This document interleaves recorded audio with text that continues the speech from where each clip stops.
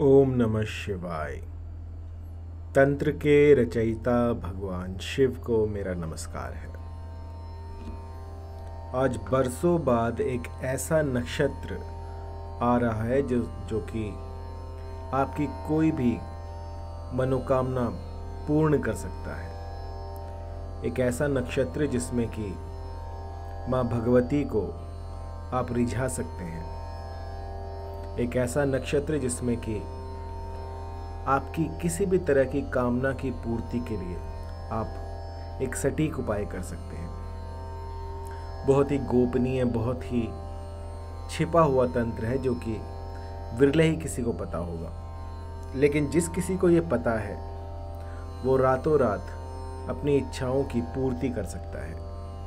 और ये नक्षत्र ऐसा है जो कि जो भी साधक इसमें साधना करता है, उसकी जितनी भी मनोकामनाएँ होती हैं, जितनी भी व्याधियाँ होती हैं, सब दूर होती हैं। और साधक की जितनी भी परेशानियाँ उनको दूर करके, उनकी मनोकामनाओं को पूर्ण करने में ये तंत्र सहायक है। ये एक ऐसा मंत्र है, जो कि आपको खिलाएगा भी, आपको पिलाएगा भी, आपकी रक्षा भी करेगा। और इस भौतिक जगत में जो भी आप कामना करते हैं, जिसकी भी आप कामना करते हैं, चाहे वो कुछ भी हो, चाहे वो नौकरी हो, चाहे वो छोकरी हो, कुछ भी हो, ये सब आपको मिलेगा इस चमत्कारी मंत्र से। ये मंत्र जो है, ये स्त्री शुक्त से लिया गया है और इसका विधान कुछ ऐसा है कि इस मंत्र को एकाग्रचित्त होकर पुष्य नक्षत्र में दस माला या ग्यारह माला जप लिया जाए।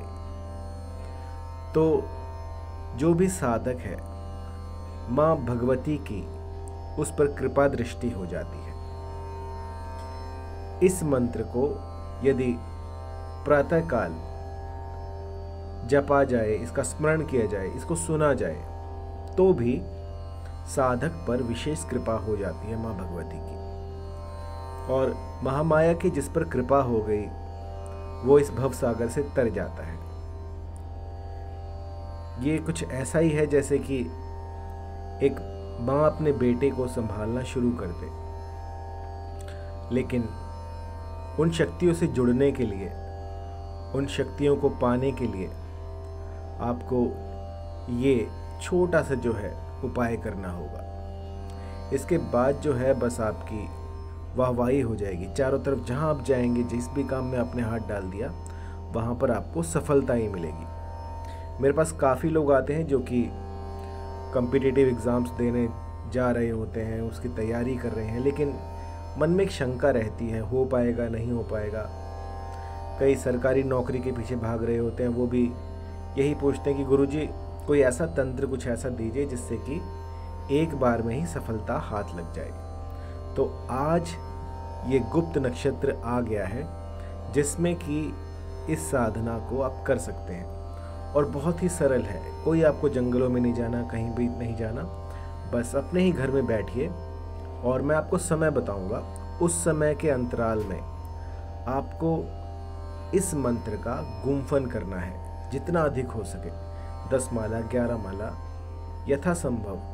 आप जितना कर पाए, उतना कीजिए। और यकीन मानिए, इस समय में किया गया छोटे से छोटा अनुष्ठान हज़ारों यज्ञों के बराबर होता है। और जब माँ भगवती को आप प्रातःकाल स्मरण करते हैं तो उनकी अनुपम कृपा जो है, वो आप पर बरसनी शुरू हो जाती है।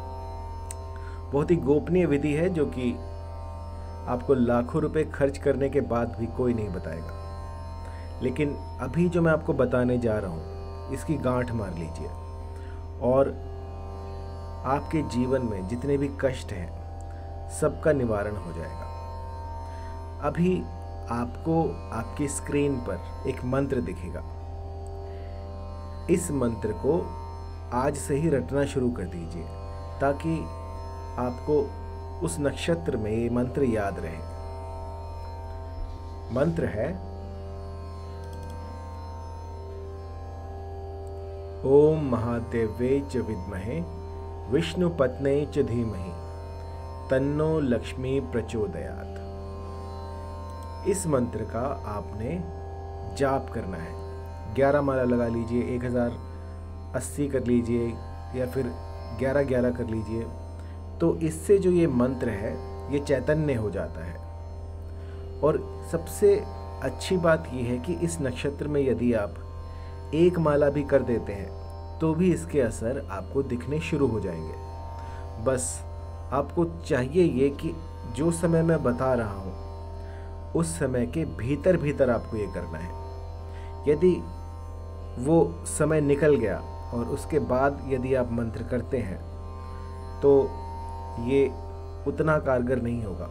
असर तो फिर भी दिखाएगा, क्योंकि नित्य प्रतिदिन एक ही समय पर किया गया कोई भी कार्य आपको सफलता अवश्य देगा।